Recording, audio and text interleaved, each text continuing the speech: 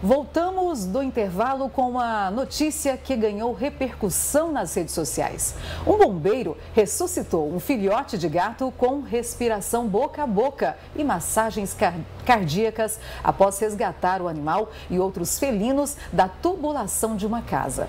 Essa história aconteceu na cidade de Quixadá, no interior do Ceará.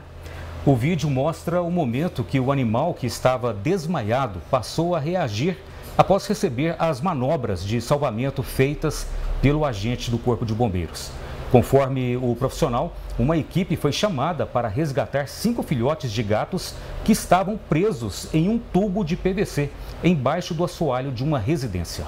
Para realizar o resgate, os bombeiros precisaram quebrar o assoalho na entrada da casa, utilizar uma ferramenta para cortar o cano e retirar os filhotes. Depois que foi constatado que os animais estavam em segurança, eles foram entregues aos tutores.